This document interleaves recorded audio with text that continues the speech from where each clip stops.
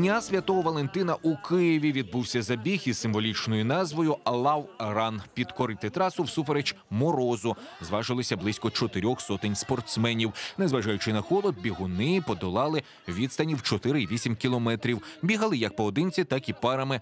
Переможцям вручили медалі, що символізують вічні почуття. Організатори назвали ці нагороди відкритими серцями, адже крім акції здоров'я, Лавран місце для пошуку другої половинки.